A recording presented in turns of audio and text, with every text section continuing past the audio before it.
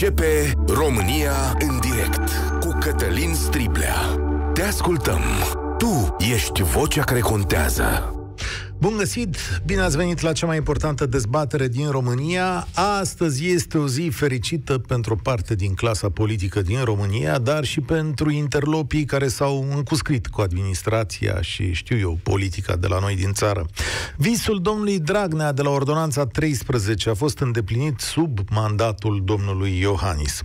Asta înseamnă că o hotărâre a altei curți de casație, care interpretează o decizie a Curții Constituționale, duce la oprirea unor dosare penale, dar, într-o interpretare extinsă, poate goli o parte din pușcării în privința unor cazuri judecate între 2018 și 2022. Cum e posibil așa ceva, o să vă întrebați? O să încerc să simplific lucrurile, iar pe experții în drept îi rog să mă ierte pentru așa simplificare totul pleacă de la o instituție care se numește prescripție. Ea e veche în România, în alte țări nu există deloc. Ce face prescripția asta? Stabilește un termen în care poate fi pedepsit o faptă penală. Ai furat, ai omorât, ești corupt, justiția spune că o pedeapsă împotriva ta are efect doar dacă vine într-un anumit număr de ani.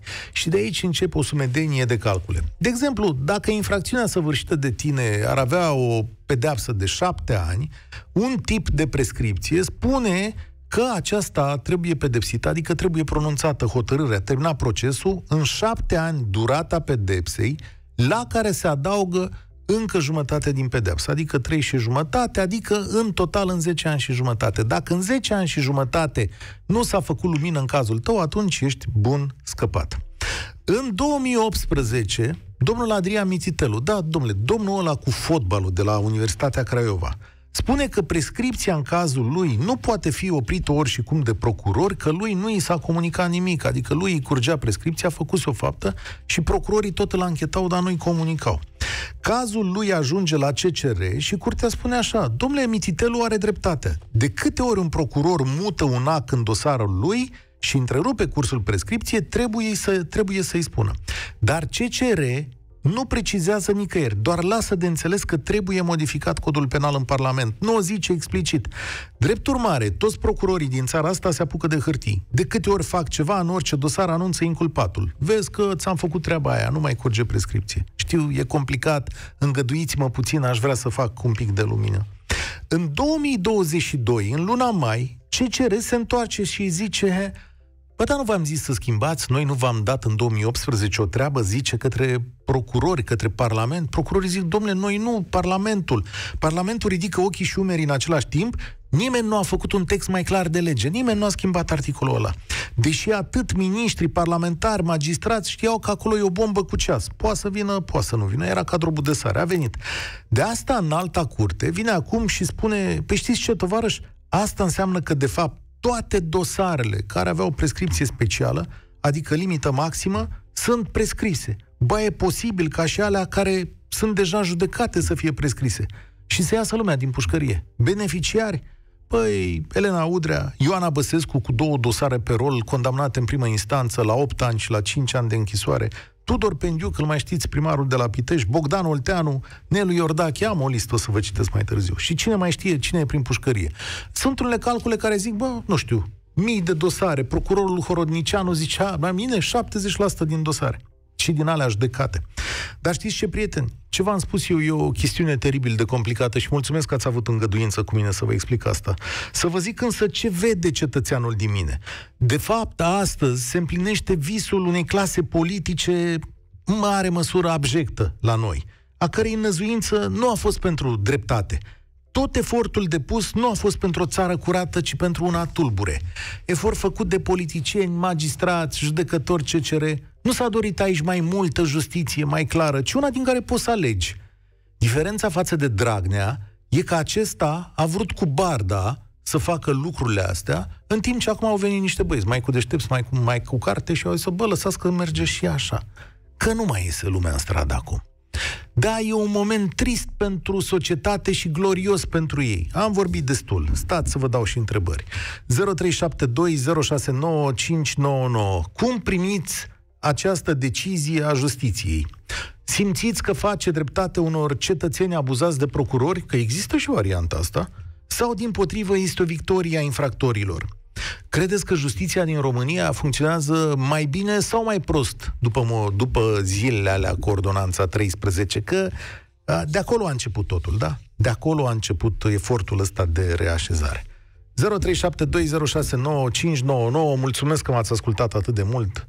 E rândul vostru. Sabin, bine ai venit la noi. Salut, Cătălin. Uh, după vestea de ieri, e ca și cum am primit un par în cap și m-a aruncat cineva în apă. Știu să not, dar pur și simplu m-am înnecat. Ce a făcut, ce a încercat Dragnea atunci, în 2017, e minciună față de ce e acum. Uh, eu am să-ți dau un caz concret. Uh, acum patru ani de zile m-am dus la primărie pentru a lua o adeverință de rol pentru copilul meu, intra la facultate la Cluj, să obțină un loc de cazare uh, acolo, în cămin. La primărie mi s-a comunicat că am niște amenzi de plată din 2007.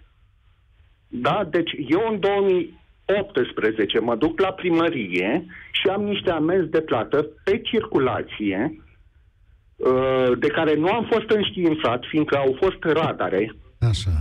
Și tu vrei să zici a, acum de ce la mine nu s-au prescris, nu? nu? Uh, uh, așa. Și nu m-au fost prescrise și nu am obținut acea adeverință. Deci în 12 ani de zile la mine nu s-au prescris. Da. Dar acum, pentru un furt de 6,8 milioane al lui Udrea, a, ea scapă de pușcărie. Da. Eu am 610 lei de plată acolo. Domnule, cum să zic, la, la că nu e evaziune fiscală, la fisc astea nu se mai prescriu, au avut grijă fiscul. În schimb, știi ce se prescrie la, priz, la fisc? Uh, să prescrie termenul în care tu poți să ceri de la ei niște bani. Asta mi se pare genial, deci modul în care ne tratează statul român. Da, să zicem. Așa. Bun, acum, gen Constituția României. Uh, nu cred că ar trebui modificată? Avem uh, nouă membri, da? Trei sunt desemnați de, în judecătorie, da? Sunt desemnați de Camera Deputaților, Senat și președinte, care au un mandat pe 9 ani de zile. Ok. Și ce ai vrea să facem acolo? Ok. Haideți să facem așa. Cum e la americani? Un judecător sau procurorul uh, general este ales de către popor. Când sunt alegeri prezidențiale, dar ce ne garantează? Uh, Înțeleg ce vrei. Vrei modificarea sistemului uh, deci, prin care nu, oamenii ajung uh, acolo? Nu, fiindcă uh, ju- judecătorii ăia sunt politizați. Păi și ce ăia din America nu sunt politizați? N-a ales Trump uh, acum uh, niște nu, băieți nu, care... Uh, nu, nu, eu aleg nu. trei judecători care îi desemnez da. eu ca uh, membru, da. uh, ca cetățean al României și alți 10 aleși cum e la 6 din 49, să fie o curte completă de 13 membri. Nu Iar ne garantează politicii... nimic asta. Nu ne garantează asta. Uh, noi trebuie să ne bazăm pe integritatea și știința de carte a acestor oameni și pe faptul că au o carieră în spate și că nu sunt sinecuri. Știi de ce? Uite, știi cine e unul dintre artizanii acestor decizii 2018 cu 2022? Daniel Morar. Îl suspectez pe domnul Morar că nu știe carte, că a avut uh, intenții rele aici? Nu îl suspectez, dar uh, atâta timp cât uh, noi suntem politizați și uh, dau un exemplu, nu știu, uh, plagiatele care există în guvern, da? Uh, acel ministru care a plagiat și se simte cu musca pe căciul ar trebui imediat, cum face englezul, cum face Astăzi finlandezul, uh, uh, cu așa să-și dea demisia imediat. Nu atâtea uh, că am dreptul de cum să-i spun, uh, Știi, am imunitate. Știi am care imunitate. E problema? De ce? Uh, de ce este imunitate la parlamentari? Sunt oameni ca și e, noi. Imunitate la declarații politice. Mulțumesc tare mult, Sabin. Calitatea, fibra morală, lipsa sinecurii, o carieră corect și concret construită Toate astea ar trebui să contribuie. Sigur, unele lucruri nu ne plac. Sunt convins că dacă domnul Daniel Morar, care e strâns legat de decizia asta din 2022, ar veni aici în studio și ar putea să ne explice cu argumente juridice ceea ce s-a întâmplat aici. Și eu îi voi spune despre un sentiment al nostru care zice, domnule, dar de pe vremea când matale mai prindeai câte unul altul minus PDL, că nu se prindea nimic de la PD atunci, așa, pare că lucrurile merg mai prost. Eu asta văd. Mircea, salut, bine ai venit la noi. Salut, Cătălin. Uh, bine v-am găsit. Salut și ascultătorii Europa FM. Cătălin, am mare rugăminte și mai ales pentru cei care vor interveni după mine să nu facem aceeași greșeală pe care am făcut-o în 2017 plecând la fenta denumită UG13, care într-adevăr, dacă ieșeala era utilă, dar la adăpostul acelui scandal, mintea diabolică și extrem de inteligentă a ministrului justiției de atunci, domnul Tudorel Toader, a conceput, uh, a conceput niște modificări în justiție extrem de subtile, care, după cum vezi, îți iau cu zecile de minute să le explici. Da, a durat mult explicația mea, da. E... Lor, o, da. A durat mult explicația mea, dar altfel nu putem să ținem emisiunea de azi. Da, știu, știu că pentru greu. că, repet, pentru că sunt atât de subtile modificările și atât de harcea parce făcută justiția, încât ne va fi foarte greu să le remediem. Uh, ideea următoarea, și o să completez puțin uh, introducerea pe care ai făcut-o tu, fără să dureze foarte mult. Curtea Constituțională nu emite legi. Curtea Constituțională judecă excepții de neconstituționalitate când acestea da. sunt ridicate uh, inclusiv de părți procesuale. Uh, în 2018 a fost ridicat o astfel de excepție. Curtea a decis că prevederile din codul penal sunt neconstituționale, da. iar în mai, repet, în mai în acest an, Curtea a întărit această decizie, nu a modificat-o, a întărit și a spus că tot ceea ce s-a emis ca acte juridice în baza acelei decizii a curții de atunci nu pot fi uh, legale pentru că nu sunt în baza legii, sunt în da, baza da. unei cutume, unei decizii okay. judecătorești. Ce a făcut forul legislativ în acești ani, în aceste luni, din mai și până acum? Nimic. Forul legislativ este cel care trebuie să remedieze. Dar știi de ce n-a făcut? Stai să spunem. Pentru că sistemul procurorilor, sistemul juridic s-a adaptat și a zis, bă, asta e o decizie de interpretare, așa se cheamă, uite, facem acte. Cum au zis ei Nu, sistemul procurorilor, dăm voie să te contradic, sistemul procurorilor nu s-a adaptat. Ei nu puteau să oprească activitatea, să oprească procesele penale în lipsa unei legi, s-au descurcat și ei cum au putut. Da, și da, felul da, în care da, au putut da. s-a dovedit neconstituțional. Ce a făcut ah. forul legislativ? Că el ne face legile. Ăsta este principalul vinovat. Și când zic forul legislativ, nu mă refer doar la cei de la putere, pentru că orice parlament, da. un singur parlamentar, da, de fie de la putere, tu? fie de la opoziție, de ce putea să vină cu o inițiativă legislativă de modificare. N-a venit niciunul. Dar de ce n-au păi venit? venit? Pentru că... că le convine. Că le convine. Oh, și nu neapărat că e din pușcărie. Le convine pentru că odată cu prescrierea acestor fapte nu mai pot fi recuperate nici daunele. Ia fi atent un pic la Maldive, mine. Îl obliga cineva azul. astăzi, pe, o obliga cineva pe Curtea Constituțională să vină cu întărire. Sigur, ei au judecat altă excepție. Dar și ei au văzut, cunoscători ai sistemului, că în ăștia 4-5 ani procurorii au lucrat într-un fel care este curtea nu corect. Poate, da, au văzut. Curtea, au, au văzut, dar curtea nu poate emite decizii fără să fie sesizate. Care iar este interesul a, public venit, mai mare? Da. Știau care va fi efectul acestei decizii? Atenție! Păi și ce vrei să, ce vrea, ce vrea, ce, ce vrea să facă curtea? Să tragă Parlamentul de mânecă? Normal așa ar fi fost. Poate să le mai amintească printr-o adresă, dar până la urmă fiecare cu atribuțiile lui dacă e să o luăm așa.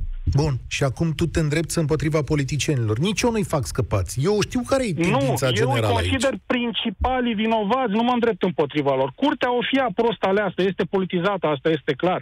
O fi șantajabil sau nu, asta este discutabil. Dar curtea nu emite legi, curtea doar judecă excepții de neconstituționalitate în momentul în care un parlament responsabil are o decizie a curții, și prima a fost în 2018 în care se spune că, domne, prevederea cutare din legea cutare nu e constituțională. Păi Parlamentul trebuie să lase totul la o parte, să pună Constituția în fruntea activității și să colecteze acea eroare.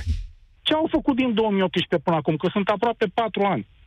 Din mai și până acum sunt cinci luni. În cinci luni făceai două coduri penale. Dacă îți păsa. Ce fac justițiarii de la aur? Fac legi care deja Știi există. că am făcut ei... chestiunea asta, stai că mi-am adus aminte, că vreau să zic de ieri. Băi, știți care e partidul care tace cel mai tare pe chestiunea asta?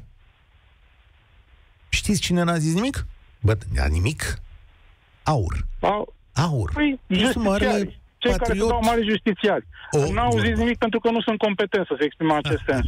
uh, și vreau să închei cu un singur lucru. Vreau să atrag atenția tuturor ascultătorilor Europa FM. Trebuie să... Nu mai fugiți de la vot. Da, recunosc, nu prea mai avem pe cine să alegem, dar vreau să fim cu toții conștienți că pe cei pe care îi alegem sau pe cei pe care îi lăsăm să fie aleși de alții în locul nostru, vor face politicile care ne dictează modul în care ne trăim viețile. Poftim, uite ce politici ne fac. Uite. Sau nu ne fac. Ăsta e rezultatul. România în direct. Cătălin Striblea la Europa FM. Da, prieteni, ordonanța 13 s-a desăvârșit astăzi. Astăzi s-a desăvârșit, e adevărat, nu în forma aceea. Ui ce zice domnul Ponta aici, Iohannis a reușit ce n-am reușit nici eu cu crin de Marțea Neagră, nici Dragnea de Ordonanța 13. Practic, cine nu a fost condamnat după 2014 a scăpat. E corect până la urmă. Să nu credeți că îmi pare rău, mai zice domnul Ponta. Totul era de fapt un circ, dosarele erau o chestie care la un moment dat îi mai elimin pe câte unul de la masă, mai rămâne unul mai puțin de la masă. Nu a fost criteriul vinovăția sau nevinovăția. A fost criteriul, bă, pe cine ai supărat. Ce zici, Costel? Salut! Uh, alo? Te ascult. Uh, bună ziua. Uh, domnul Schiblea, sunt total indignat uh, față de ce se întâmplă. În primul rând, uh, e atâta de, de, de multă mizerie și, și dihoni în, uh, în sufletul la uh, poporul ăsta, nu ne putem da seama. Deci, pur și simplu, își bat joc din noi. Dacă ar putea să aibă și controlul zilelor noastre, n-ar mai muri niciodată. Sunt niște oameni care au spus dai pensii speciale la primar, la parlamentar, la... Deci, pur și simplu este împotriva firii. Acum, nu știu ce să spun, mai puțin mă interesează că face udrea sau cine mai face pușcărie. Problema era de recuperat bani. Și, da, foarte frumos, cât ai luat? 10 milioane. Cu zăbândă dai 12. Da, pune bani jos și ești liber, stai acasă. Nu are nici nimeni treabă cu, cu tine. Pentru că așa, furăciuni de felul ăsta, nu, nu, nu cred că se, se poate explica și poate cineva să-l înțeleagă. Uh, am zis, când este vorba de interesul lor, nimic nu este scump, nimic nu este... Nu ați văzut, fac excursii în zone exotice, merg pe oriunde, pe banii noștri, pe asta, nu are nicio treabă una cu asta. Deci, pur și simplu, la tratamente, pe unii vor, își dau... Fii atent un pic. Fii atent da. un pic. Că nu e vorba doar de doamna Udre aici, lucrurile sunt mai Dar complicate. nu, am dat un exemplu așa, deci nu a fost noi... problemă, doamne ferește. Zice nu. domnul, păi nu, că îți dau eu, am lista aici, de Tudor Pendiuc, Mihai Chirica, Nelu Iordache, da. Petru Luhan, a, merge. Deci nu, am dat doar fie, un exemplu, am zis că să domnul fie procuror, Domnul procuror Horodnicianu, știi, a fost șeful de la DICOT da, da. la un moment dat. Păi avea o da, da. barbă așa mai... Cu bărbiți mai, mai grăsă, Așa, așa. Oh, ce zice domnul Horodnicianu? Ăsta e procuror vechi. Cred că nu mă hazardez dacă spun că mai bine de 70% din dosarele mele vor fi prescrise. E vorba de infracțiuni comise în 2015, 2016, 2018, de lapidare, evaziune fiscală, trafic de persoane, infracționalitate informatică. Cele mai multe dosare sunt pe infracțiuni economico-financiare. Și noi trebuie să... văzut și domnul Rădulescu și ăstea au propus acolo să dai, domnule, prejudiciu înapoi. Dacă te prinde, dacă nu te prinde, ești în regulă. Da. Bun. Și acum ce mai facem, stimate domnule? Nu avem ce să mai facem, domnul. Deci este o, o clasă politică uh, exact, uh, cum să vă spun uh, noastră, e cam ferma animalelor. Deci, cam, deci au jos porci la putere. Ei tai spânzuri, ei fac tot ce vor. Astfel, cel puțin dacă ar putea să ne gestioneze și, și zilele și viața, n-ar mai muri niciodată, n-ar mai avea nicio treabă ei. Fabulos atâta, răspuns. Deci, da. efectiv, nu mai e pe cine să alegi. Deci, Ei, lasă că veni și momentul ăla și ne socotim noi și la data respectivă. Mulțumesc, Costel. Da, invitația mea e să nu uitați. A știu că în viață sunt probleme mai importante decât astea. Dar ăștia ne-au întors în timp. Suntem în 1995, 2000. Nu se mai întâmplă nimic acolo. Tiberiu, salut! Ești la România Salut, Cătălin, și salut pe tot ascultătorii Radio Europa FM și să știi că și eu sunt foarte trist și indignat și uh, chiar am avut acea senzație ce a zis domnul Ponta, că Iohannis a rezolvat totul ce ăștia s-au chinuit să rezolve și Chiar acum au plecat olandezul de câteva zile și nu știu. Da. Ei... Fii atent, uite, îmi scrie cineva pe WhatsApp, politicienii vor ridicarea MCV și se bat cu pumnii în piept când îndeplinim condițiile de aderare în Schengen. Ne mirăm că Olanda se opune? Ha? Da. Da, da, nu, nicio mirare și cred că putem aștepta mult și bine de am încolo, cred eu. Dar nu deci pe cuvânt, mi rușine, mi rușine și în locul lor și în, pe cuvânt. Deci, nu se poate așa ceva să, în 2022 să ne întoarcem chiar așa în timp ca în epoca de piatră și noi cetățenii care noi am votat să bată joc de noi în ultimul hal și și în trecut și în viitor asta se va întâmpla dacă nu se întâmplă ceva, habar n-am. Dar e un dezastru pentru țara noastră, din păcate, și nu știu scăparea care ar fi, pentru că sunt uniți. Degeaba vrem noi un judecător de acolo, un judecător, oricum până la urmă sunt toți prieteni și până la urmă nu o să fie absolut nimic, doar praf în ochi. Și asta merge de ani de zile, praf în noi, ca noi până la data alegerii să fim foarte antrenați și foarte cuminți, să mergem să-i votăm, că după aia iarăși o să ne arată că, de fapt, Domnule, da, uh, ei a, Tiberiu, teoria aia da. noi e în calcul că, uite, zice, zice domnul Ponta și domnule, erau și oameni nevinovați care au trecut prin chestia asta. Că da, la un știu moment asta, dat... Știu, știu, sigur, știu că chiar am s-o discutat și chiar oameni pe care au deranjat, sigur, o trebuie să scape de ei cumva unui Becali, de exemplu, dacă te uiți bine. Domnul Becali acum stă, vede de mingea lui mai departe și așa, sunt. Să zic, stai cu minte și atunci nu o să mai fii deranjat. Și dăm să înțeles. Eu mă gândesc că după un flux vine și un reflux. Adică mai ții minte cozile alea de la DNA când îi lua și urca pe toți pe scară uh, 7, 8, 10, 20, ții minte imaginea aia? Da, da, era o imagine foarte frumoasă, numai că oamenii erau uh, lăsați în pace după da. camera, le, le filmau. Era, e, ia gândește-te dacă era o imagine foarte frumoasă sau o imagine foarte urâtă. Pentru că păi... s-ar putea ca între ăia 20 care erau puși pe scara aia, bă, unul să fi fost nevinovat. Păi, de, pentru asta avem justiție, să hotărească justiția. Mm. Da. Chestiile astea. Eu văd lucrurile așa, mulțumesc Tiberiu. Eu văd lucrurile așa. A existat o situație de flux. Când s-a făcut anticorupție, începută de domnul Morar, s-a tras tare, s-au prins unii, alții, dar am văzut și dosare prost făcute. Am văzut lucruri care erau cu mari semne de întrebare. Am văzut legi la limită. Am văzut uh, unele absurdități în chestiunea asta și atunci oamenii ăștia din clasa politică s-au organizat și au zis, bă, de ăștia chiar vin peste noi, stați că avem noi act de cojocul lor. 15 ani mai târziu am ajuns la uh, chestiunea asta, da? Adică lucrurile s-au întors, suntem la T0. De aia zic că unii dintre ei deschid șampanii. E cineva care îmi scrie că și presa e de vină, pentru că de 8 luni nu știți altceva decât Ucraina, în loc să stați cu ochii pe ticăloșii ăștia.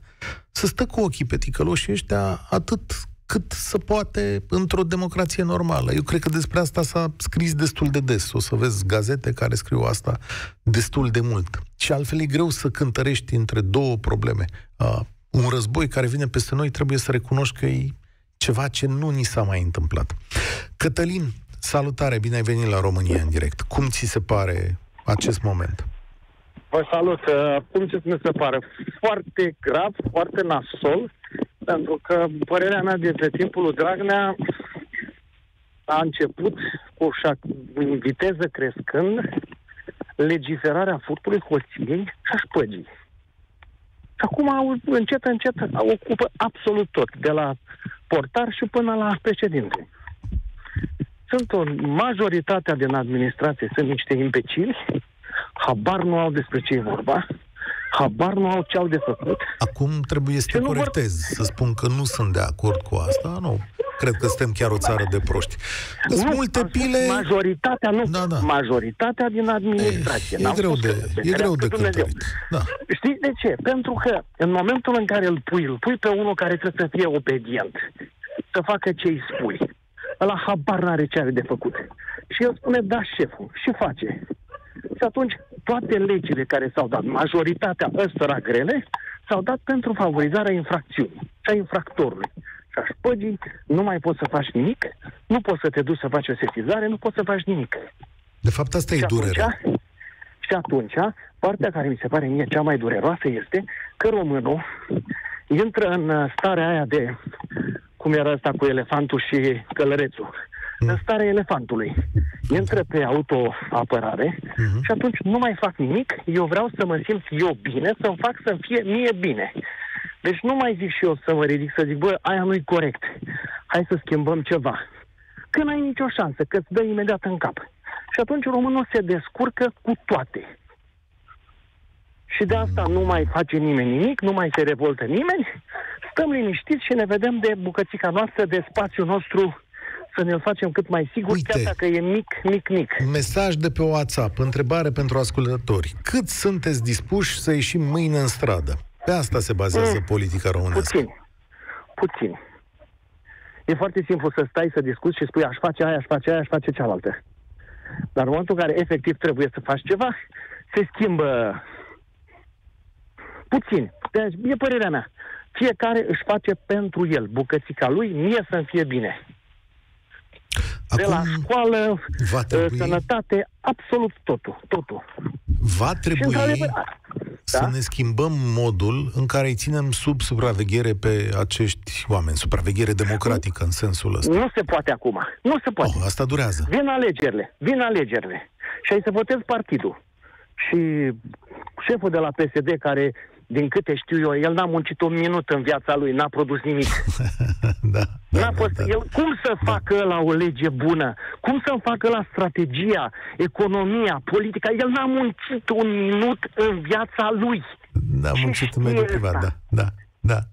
Da, și eu Și mă atunci- întreb, la, la ce sunteți bun? Asta ar fi o întrebare. La ce sunteți Exact. dumneavoastră bun? Care e? Eu Ce știți să întotdeauna, faceți? în tot, în, întotdeauna eu am zis, am eu vorba mea. Dimineața sunt la, în baie și mă bărbieresc și mă uit în oglindă. Și eu cu mine zic, băi, eu astăzi ce fac? Ce? Și mă duc la muncă să fac ce? M-au pus aia să fac nu știu ce. Ce fac? Habar n-am. Îmi aranjez pile, stau sluj în fața lui șeful, că na, el m-a pus și trebuie să fac ce zice el. Și atunci Da. e, e dificil. Ce- E dificil pentru că Ce vă propun să vă gândiți? Mulțumesc tare mult, Cătăline. Gândiți-vă. Ieșiți din această stare care sigur acum ne domină, avem alte probleme, e mai greu să ieși în stradă. Dar trebuie fiecare dintre noi să învețe să urmărească și să ajute sau să se alăture acelor comunități care sprijină și sunt de acord cu sau curăță spațiul democratic. Acele comunități care trag semnale de alarmă. Uneori îi vedeți, uh, poate sunt mai radicale, alteori vă enervează.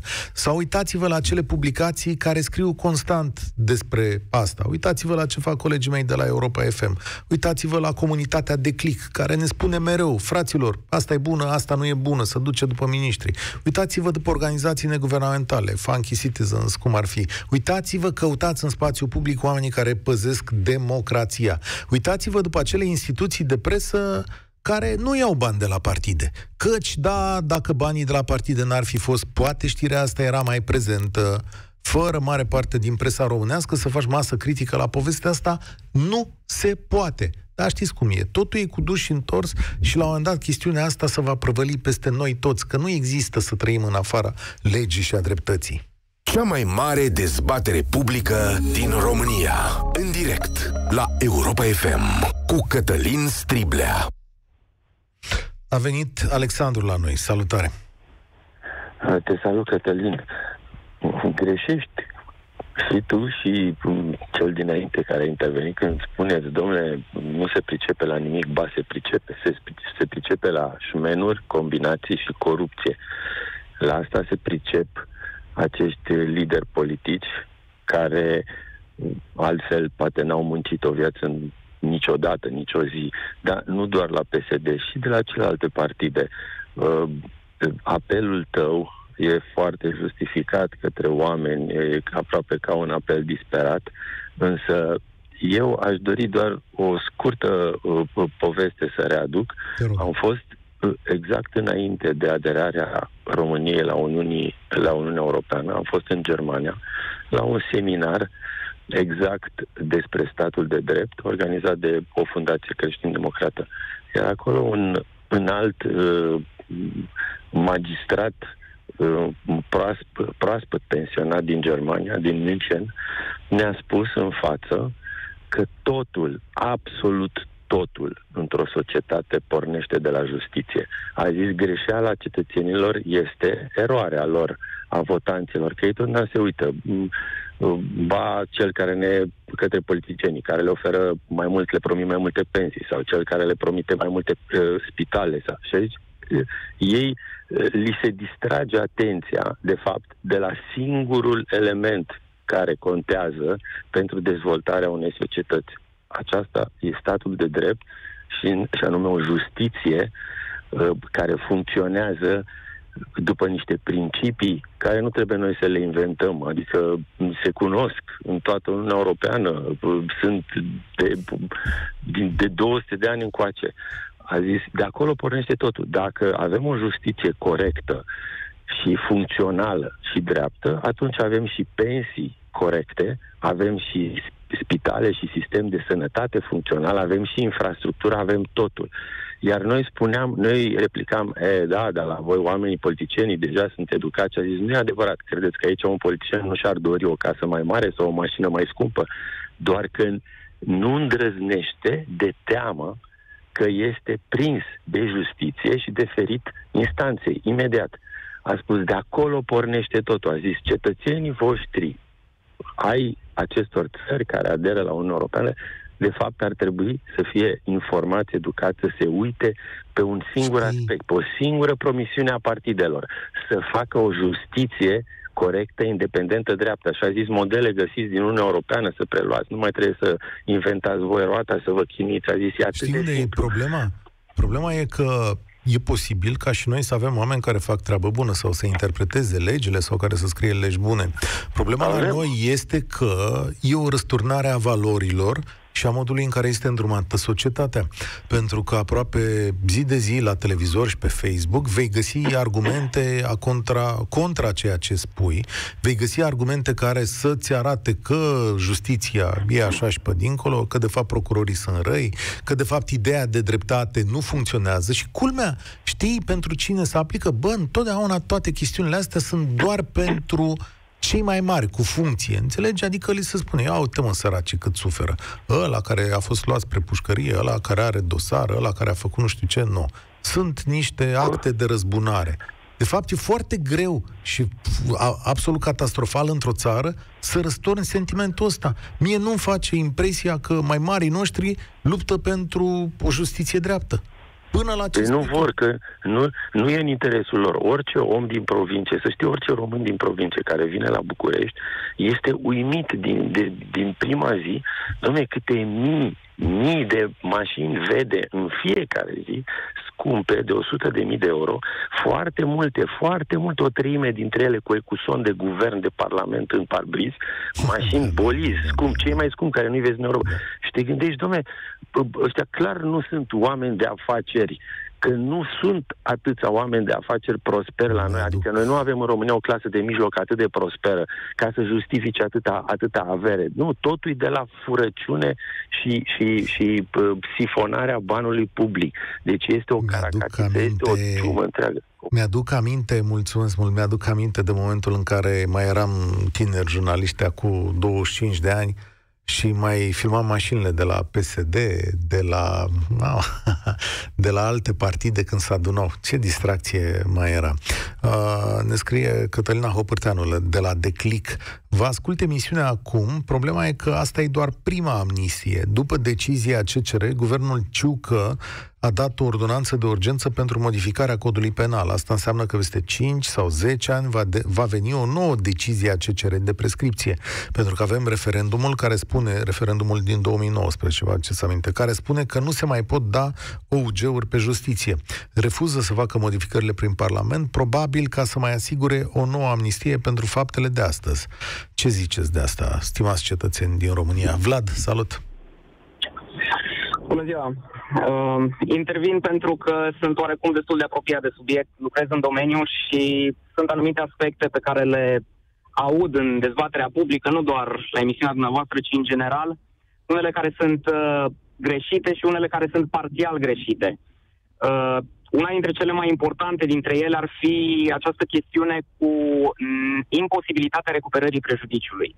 Deciziile Curții Constituționale n-au absolut niciun fel de consecințe asupra laturii civile a cauzelor. De aia se și numește instituția prescripția răspunderii penale, nu prescripția răspunderii civile. Acum, cu privire la uh, deciziile propriu-zise ale Curții Constituționale și, a, mă rog, decizia în altei curți de ieri, uh, voi spune doar atât. Uh, decizia Curții Constituționale din 2018, pentru că, de fapt, ea este cea care produce efecte, este o decizie foarte corectă din perspectiva asta. Uh, decizia din 2022, în mod normal, nici într-un stat de drept, nici nu ar fi trebuit să mai, uh, să mai existe. Principalul responsabil pentru situația de astăzi este nimeni altcineva decât legiuitorul, care nu avea obligația să intervină din aprilie 2022. Avea obligația să intervină din anul 2018. Sunt patru ani de pasivitate care eu personal nu-i pun pe seama relei credințe a legiuitorului, ci pur și simplu pe, pe seama incompetenței și indolenței. Și ar mai fi o chestiune pe care vreau să vă, să vă aduc în, în atenție. Uh, cred că ar trebui să fim uh, convinși de faptul că infracțiunile, să zicem așa, grave, infracțiunile de corupție, evaziunile fiscale și așa mai departe, au termene de prescripție destul de generoase, spun eu, chiar și pe, pe prescripție generală. Au termene de 8 ani de zile, 10 ani de zile. Acum, mă întreb eu, cine este responsabil de faptul că un dosar stă în urmărire penală 8 ani de zile, 10 ani de zile? Acum. Și nu se ajunge la o soluție da, de la domnul Horodnicianu. Vă citez. Noi trebuie să înțelegem un lucru. Modificarea din 2014 a codului penal a redus drastic termenele de prescripție și a îngreunat ancheta penală prin mai multe dispoziții. De exemplu, prin faptul că la acest moment, pentru a lua o măsură preventivă, trebuie să faci undeva între 9 și 11 acte de urmărire penală. E mult mai dificil și mult mai îndelungat procesul din cauza instituțiilor care, în principiu, sunt menite să garanteze drepturile și libertățile inculpatului. Pe de altă parte, instituțiile noi care au fost introduse în 2014 duc cumva la trecerea unor perioade mai lungi pentru rezolvarea unei cauze penale. Iar acest lucru, colaborat cu reducerea termenului de prescripție, generează acum o grămadă de prescripții în dosarele penale. Aveți încredere în experiența domnului procuror Horodnicianu? pot răspunde punctual cu aproximativ trei contraargumente. În primul rând, aspectele pe care domnul Horodnicianu le prezintă nu au aplicabilitate în numeroasele dosare care stau ani de zile în nelucrare atât la parchet, în general la parchete, la instanțe nu prea pot să stea uh, în lucrare. În al doilea rând, într-adevăr, setul de garanții suplimentare aduse de uh, noua paradigmă penală sunt unele congruente cu lumea în care dorim să trăim noi și cu lumea în care trăim, cu pen, uh, procesul penal modern, european. Um, și trei la mână, nu pot, nu cred că aceste garanții pe care uh, legea penală le aduce Uh, persoanelor acuzate de săvârșirea unor infracțiuni, care pot să fie de foarte multe ori, inclusiv persoane nevinovate, nu aceste garanții sunt în măsură să îngreuneze activitatea de urmărire penală. Mi-ați dat un citat acolo din uh, uh, o chestiune privitoare la măsurile preventive. Măsurile preventive n-au absolut nicio legătură cu soluționarea cauzei de către procuror. Ele sunt oarecum paralele, vizează privarea de libertate a persoanei cercetate. Dar acest aspect nu are nicio înrăurire în avansarea anchetei și trimiterea dosarului Dar la instanță. toate acestea coroborate Înțeleg că sunteți avocat și avocaților le pică foarte bine perioada asta. Dar toate acestea coroborate Mie, cu... că nu. Și eu pierd din cauze. Deci, toate astea coroborate, eu știu că e un teren foarte frumos de joacă pe care domnul Predoiu l-a făcut avocaților. Domnul Morar nu trece și el în avocatură, domnule, după ce pleacă acum de la Curtea Constituțională? Mă gândesc. Mă gândesc. Toate acestea coroborate cu tot ce spune procurorul Horodnicianu, coroborate cu un set de măsuri care îngreunează ascensiunea și cariera procurorilor și depopulează parchetele, plus trimis mai repede la pensie, trebuie să recunoașteți totuși că există o pedală care se apasă pentru o funcționare mai slabă a parchetelor din România și pentru o justiție, cum să zic, cu mai multe găuri pentru o justiție penală cu mai multe găuri decât înainte? Mm, discutabil și mi se pare că argumentele dumneavoastră nu ar fi sau nu ar fi valide, dar nu știu în ce măsură au legătură cu uh, chestiunea prescripției. Eu vă spun de la firul ierbii, uh, oarecum faptul că am să vă uh, las nici această, țin, am să vă las această țin listă și să-mi spuneți cum interesul public cu date și cu probe și cu tot ce trebuie este satisfăcut. Dar din păcate nu mai avem timp, dar eu vă zic așa. Tudor Pendiuc, Mihai Chirica, Nelu Iordache, Petru Luhan, Elena Udrea, Ioana Băsescu și pot să mai continui dacă mai vreți. Bogdan Olteanu, Vanessa Iones, Adrian Mititelu. Nu e ca și cum probe n-ar exista. Termene. În termene nu ne mai înțelegem. Da. Mulțumesc tare mult. Îmi pare rău că nu mai pot să vă dau dreptul la răspuns acum, de emisiunea de azi se încheie aici. Și să încheie și o epocă, stimați prieteni. A, po- poate trebuie să pregătim procurori mai buni, mai tari, mai hotărâți și o societate mult mai atentă. România în direct de astăzi se încheie aici. Eu sunt Cătălin Striblea și vă spun spor la treabă. Participă și tu. România în direct, de luni până vineri, de la ora 13 și 15.